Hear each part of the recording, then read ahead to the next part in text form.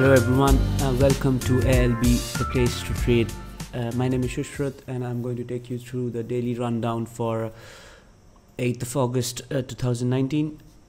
Uh, so before I start, uh, like always, please spare some moment to read uh, the legal disclaimer as investing in financial assets has got inherent risks attached to it. So be careful before trading in the financial market. Uh, so today I'm going to start with the economic calendar that we'll be looking at uh, for uh, for Thursday today. Uh, in the morning, uh, there was some news from China. their exports and imports came. The export came surprisingly very good at spot three spot three spot three percent uh, and where uh, it was expected around about eight spot three percent, uh, sorry, 2%, but the imports still were not up to the mark like the exports. but this really calmed the market a bit, and we did really see kind of uh, uh, a retracement back up from the lows uh, that we have seen in the equity market on on Tuesday and a bit uh, on Wednesday. Asian shares were trying to piece together a rally on Thursday as Beijing reported surprisingly solid trade numbers while also limiting the fall in its yuan, offering a brief uh, relief from fears of a global currency war. Uh, data showed on Chinese export rose 3.3% in July uh, from a year earlier, where analysts had looked for a fall of 2%. Imports, imports were declined by less than expected, suggesting some uh, resilience to, uh, to the drawn out uh, China and US uh, tariff struggle. Uh, Beijing helped uh, by fixing the yuan at a further at firmer level than many had feared, even though it had it was beyond seven per dollar level for the first time since the global financial crisis. Markets reacted by pairing a little of their recent hefty losses. Uh, the MSCI's broadest index of Asia, Asia Pacific shares outside Japan bounced to spot 9%, uh, though it was still down more than 7% over the past two weeks. Uh, Japan's Nikkei edged up spot 5% and away from 7th uh, month low, while Chinese blue chips rose 1 spot 2%. Uh, in the US, the E-mini futures uh, for the S&P 500 firmed at a spot 5%, and the Euro Stoxx futures uh, were up a percent. Uh, investors have increasingly come to fear to the trade war, as uh, we have uh, seen uh, in the past couple of days. Um, so uh, and trade war will prove and it's kind of proving pr uh, protracted enough to tip the world into a recession so uh, uh pricing in for recession is is at the moment uh, in an all-time high the latest uh, spasm began when central banks in New Zealand India and Thailand surprised markets on Wednesday with aggressive easing while the Philippines is expected to cut later on Thursday so most of the bank uh, central banks uh, from uh, the Asian and the Australia, Aus uh, New Zealand, Australia region are uh, cutting their interest rates. Uh, we did we did see from New Zealand. We saw a news that I was seeing in in, in the morning. New Zealand Central Bank could ease rates again. the assistant governor said on Thursday, a day after a bank stunned markets with a steep 50 basis point cut to the official cash rate and flagged the risk of negative rates to fight slowing growth.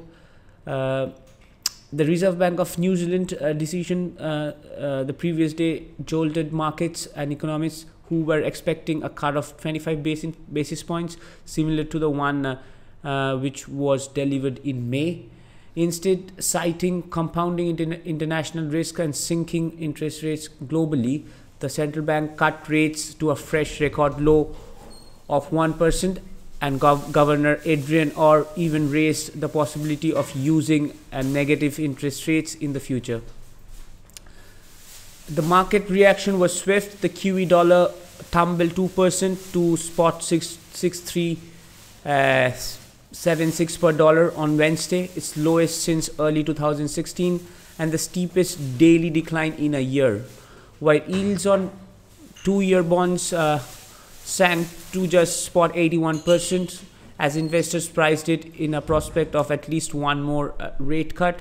Policymakers everywhere have been forced to consider more stimulus as fears grow over uh, the broadening fallout of the US and China trade dispute on the global economy. Following the New Zealand surprise, India Central Bank cut by slightly bigger than expected at 35 basis point on Wednesday, while the Bank of Thailand uh, is also expected to uh, reduce its key rate uh, uh, on, on Thursday later. Uh, last week, as we know, the Fed cut its rates first time in a decade, while the Reserve Bank of Australia eased in both June and July. So it's kind of a global rate cutting cycle that's been seeing, and uh, from the US as well, the market is now pricing in for a minimum of, of a 25 another 25 basis point cut on on, on september meeting uh, if not more uh, so today there isn't much news coming from the us like any major market moving news but uh, there are some few like uh, on at half two uh, european time in the afternoon there will be uh, the continu- continuing jobless claims then there will be the wholesale inventory month on month in june and followed by the oil uh, gas stock change uh, from from from US. Uh, not not many not any scheduled uh, central bankers that will be speaking today. So we have to uh, rely on the technical points of the market to see any kind of major moves. If there is also uh, if there is any kind of news that will be developing throughout the day i would suggest you to keep uh, an eye on the major news outlets and also twitter uh, which i think is a uh, good place to get the prompt news uh, what's going on throughout the uh, world at the moment moving on we had the oil mm, oil for yesterday we had the oil inventories uh, that came out from the US. Uh, and we saw a surprise build up which which uh, mm, led the market kind of uh, hurled down downwards the price action and it fell the oil prices fell almost uh, 4 4 percent uh, but but oil futures jumped jumped more than a dollar a barrel on Thursday uh, recovering half of the nearly uh, nearly the 5% losses in the previous session on expectation that lower prices may lead to production cuts. Uh, the Brent crude rebound to 57.75 uh, dollar a barrel, uh, which was uh, up a dollar and 52 cent or 2.7 percent from its last close, while the U.S. WTI crude futures jumped a dollar and 51 cent uh, which is uh, almost 2.96%. Both contracts hit their lowest level since January on Wednesday after a surprise build in US crude inventories, uh, which added to worries that China US trade war could further dampen uh, the demand growth this year. Analysts that that crude uh, said that crude prices were uh, moving higher on the expectation that Saudi Arabia, the world's largest oil exporter, and other producers of OPEC uh, may take action to support the market by reducing supply. Uh, the threshold is $60 barrel, and, and if you go below uh, that for a significant period of time, uh, the market would expect supplies to, to, to be taken off the market in order to support the price up.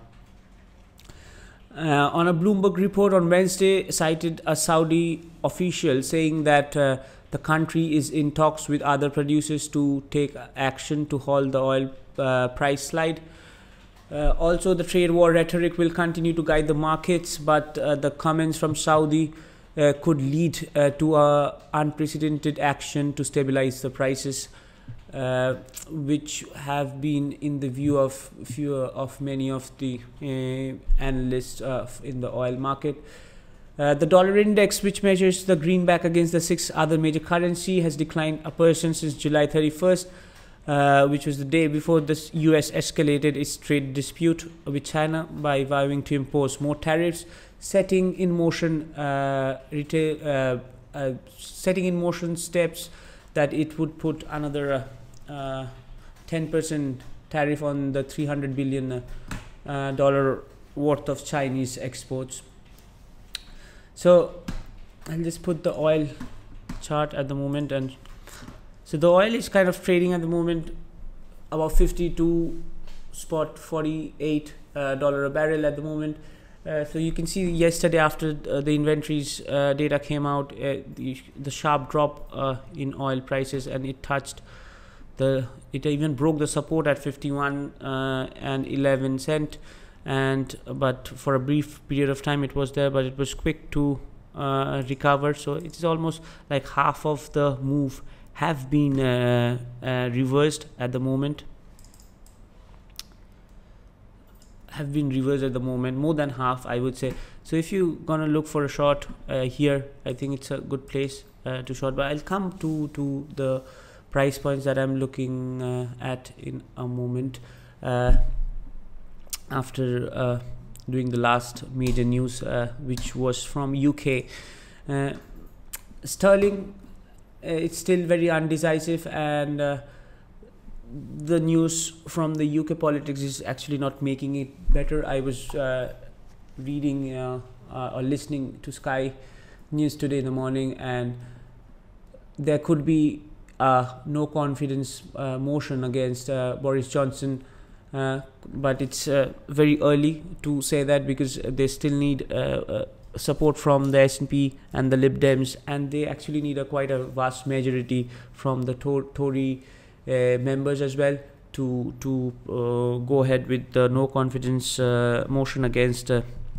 Prime Minister Boris Johnson in the UK Parliament. But it, if it were to happen, I would think that would be will be a pound positive. but at this uh, till now uh, pound looks still looks the price action still looks choppy and uh, I will discuss more about the price points uh, that I've been looking on the pound as I go through uh, with uh, with all other instruments that I'm looking at. Sterling's recent slide is not yet over as chances Britain and EU part ways without a withdrawal deal have jumped again after uh, uh, Boris Johnson took over as Prime Minister last month. Uh, Johnson, who was the face of Leave campaign ahead of the 2006 referendum and who took office on July 24th, was repeat, repeatedly said that he will take Britain out of the EU on October 31st with with uh, with or without a deal. Uh, the GBP fell to a low against the dollar uh, not since the early 2017 at the start of August uh, before the uh, before the divorce date arrives the pound will fall further and trade between 117 and 120 uh, which was done on a Reuters poll of foreign exchange strategists predicted uh, below the 121 it was uh, it was below 121 for a slight period on Wednesday Britain was originally due to leave the EU at the end of March, but the departure date was extended. The median forecast for disorderly Brexit, whereby whereby no deal is agreed, jumped in uh, jumped in from uh, from second uh, of August to seventh uh, up to thirty five percent. So uh, between these five days, uh, the chances that Britain will leave the EU without a deal have have risen quite a lot. Uh, it was before 30% and now it's 35% uh, which uh, which which has been said by the economists uh, the highest since Reuters began asking uh, the questions two years ago so it's it's the probability is now pretty much high for Britain to leave without a deal from the EU uh, but as they have uh, uh, as as they have since late 2016 when Reuters first started asking about the most likely eventual outcome a strong majority of economists poll, poll still think that the two sides will eventually settle for a free trade deal Again, in the second place was the more extreme opinion of leave without a deal and trade under the WTO rules. Uh, the third most likely outcome was Britain remaining a member of the EU and paying into the EU budget to maintain access to the single market. Uh, yet, having said having no say over policy, uh, fourth place once more went to cancelling Brexit. So the, four uh, scenarios where uh, the EU will EU and Britain would come to an agreement uh, to have a free trade deal, and uh, Britain will keep paying uh, to the EU, and but they won't have any kind of say on, on, on the on the any kind of uh, uh, trade laws that will be made in the EU. Uh, which which I don't think at this point of time will be much of a much in the cards uh, after uh, Boris Johnson took took as the prime minister. Uh, the third outcome was kind of they will stay in the EU economic area, but which is actually also not uh, uh, kind of looking good at the moment that they will or, or even cancelling the brexit which is also won't be the case so most probably either EU will uh, sorry the Britain will leave the EU with with a no deal uh, because bear in mind there is not much time left uh, it is almost like less than 90 days left and I am not seeing anything or I didn't see any news that uh, either of them are re- really eager to come to a middle point or there will be any scheduled meeting as of yet so it will be uh, uh, it's very very quite uh, dicey for, for the pound from here on. Uh, with the deal expected, the median forecast uh, in the wider poll of over 50 forex, forex market watchers uh, gave a healthier outlook for sterling, and it was expected to have rallied to 127 in six months and then trading 10% higher at 133 in a year. But I think this these polls which were done were before uh, Mr. Johnson took the prime minister uh, post, and at the moment, uh, I I really don't see this kind of uh, price for GBP between uh, 127 and 133, but uh, you never say no. But at this at this point, it looks very highly unlikely uh, but if there is kind of any development uh, in in in uh, the talks, we can uh, see those prices for sure. Uh, other major economies are being supported by central banks easing or about to ease policy, but Bank of England is not expected to change its key rate until 2021. So so that is also one of the reason I, I feel that pound will uh, stay at the at this level or maybe lower if uh, Britain has to go out of the EU without a deal. So now let's talk about the prices uh, that I am looking uh, for today. So I have this uh, trend line, the down uh, trend line on on on a four-hour chart since there has been like the choppy price action that we have seen throughout uh, the month of August from the starting and there is no perfect direction. So kind of my trade would be if I had to take a trade in pound I would be waiting for the price to go up here if there is uh, because since uh, it has uh, fallen from uh, from uh, the mid of the the last week of June from 24th of June it, we didn't see a proper retracement uh, throughout the price action that has been uh, downward. Uh, so uh,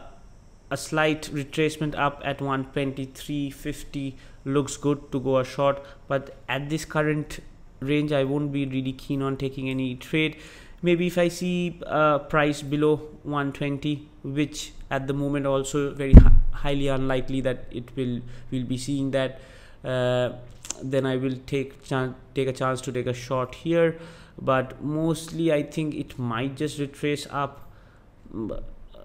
So if if it goes up here between 123.50 and 124 I think it's it's it's, it's a good uh, place to short uh, with stops above this trend line that you see which coincide with also this kind of resistance the market have seen before at uh, 125 uh, but yes that would be a trade that I would be looking at. But uh, if I see the prices which I doubt that I will see 120 350 today. But if there is uh, that would be good. Uh, moving on to euro dollar uh, I was kind of bullish for the past two days on euro dollar but I was holding the position. But it didn't really do anything to be honest it was kind of in in moving in uh, 30 40 pip range. So and then on the four hour chart I have this trend line upwards. And it if I would be looking to short if it breaks uh, this uh, area here this area this area here uh, around about 120 112 13 uh, or maybe yes 112 13 looks if it breaks and also breaks this uh, support level at 111.96 which will give me a double double confirmation to go for the short. So actually I'll be looking for a short today uh, on Euro USD uh, from the pivot looks also good the 112.35 uh, with targets below uh, 111.55 which kind of looks quite good. And but and the stop just above uh, this 124 handle. So it's kind of 40 50 40 to 50 pip uh, stop. Uh, for uh, if you take a shot from there. So the shot from here looks good but please uh, to remember if you have this trend line on your chart as well first let it break proper break you see a break and then go for the trade. Uh, as you see it's kind of playing at the moment here. So if it breaks down here with a proper you see a proper uh, bearish candle I think that would be a good uh, uh, place to go short moving on to uh, the USD Japanese yen. I will be looking for a uh, long position uh, above uh, above just above the pivot uh, in USD uh, yen with targets at 106.60 and between 107 so along fr from so at the moment the price price is above uh, 105.90 so if you even get a chance to get on the 106 level to go long I would suggest you it looks good. And uh, targets being at 107 or uh, between 106 70 and 107 or any any kind of extension if you see. Maybe this wick that we saw uh, on, on on 6th of August day, day before yesterday which are at 107 uh, spot 07 so yes so uh, long from the pivot and target being at the 107 handle looks good on on uh, USD Japanese yen. Uh, gold I hope you all made if you have taken the trade on gold uh, it was really a good uh, kind of uh, rally that we have seen for the past couple of days on on gold and we might see kind of a bit of retracement. So if you're still holding a, because I was targeting the 1500 which we did see yesterday uh, and I am actually out of the trade. But I would be again looking to go long. If I see a retracement at the point at this current point it looks like we might see a retracement. Uh, uh, maybe uh, retracement back to 1475 80 looks good to go long again. So this area here where you see this kind of cluster of uh, prices where uh, before uh, taking taking off the price uh, I think 1474 75 looks good to go long.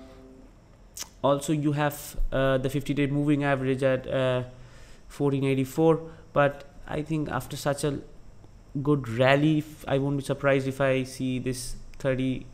$35 of retracement which is kind of a healthy retracement and it's a good chance to go long again. So if you if the price falls here of course you can go for a long at 1475 76 and or and target uh, the highs from yesterday uh, or or between 1505 and 1500 i think it's it's it's a very uh, good trade uh, to take. And finally on S&P I am looking uh, to so you can see this downtrend that we are still in on S&P uh, but uh, we did see this kind of price move up because uh, both there could be a profit takings plus also the news from China which did help uh, the prices to uh, get back uh, near 2900 but I have this Fibonacci retracement which from the highs back back in, in July and to the to to the price that it fell uh, on uh, on on Monday uh, when the market were really going down. And you see this 50% retracement here. It looks like a good place to short. So also just above this trend line. So if you see the trend line breaking uh, you can actually short here or you can also short here at the moment at 2890 or 92 uh, with the stop just above this 50 day 50% uh, retracement. I think it, it, it, looks fairly a good trade to take at the moment because since there is no news coming at the moment and uh, i i i hope to see the price action at least go to test the lows uh, back from uh, monday uh, which would be kind of because the, if you see the price action it, it just had this uh, retracement here and it fell and now it's going up again. So it's kind of a second retracement. So you can uh, really short I, I would like to short here if the price comes here about 28 uh, 92 or 93 but it's also a very tight stop. It's not that much. It's just if you go a short here and you put your so it's like kind of 10 point stop which in S&P nowadays is not much because the market is so volatile. So if you are you can afford to take a 10 point stop on S&P I think it's a good trade to uh, do. Uh, so uh, short round about I think this price here at the moment about 9394 and uh, above 229 4 at stop. So it's like a 10 point stop and targeting the first target should be bare minimum uh, this 28 uh, 2834 region here. And so it's good 60 points first target and, and the second target uh, being uh, the lows uh, back just here. So it's kind of a like you can get get like about on an average of 70 80 points uh, to a stop loss of 10 points so which is like a very very uh, good trade to take on uh, on on S&P at the moment all right that will be it from me for the daily rundown I, I, I hope I wish you guys all the best for uh, for the rest of the trading day. Uh, please, uh, if you have any questions, and get in touch with us. Uh, here are the numbers that are displayed on the screen. You can also go to our uh, website at www.alb.com where we'll, you will find all uh, the information about the company and the services we provide uh, alternatively there is also the chat option box that will be there that will pop up once you go there you can talk to any of our customer service agents in spanish italian and of course english so just get in touch with us if you need anything uh, and uh, please let us know how do you think uh, if you would like to see any changes on our daily briefing Again, thank you very much for joining us. I wish you all the best for the rest of the trading day and have a wonderful day ahead. Thank you.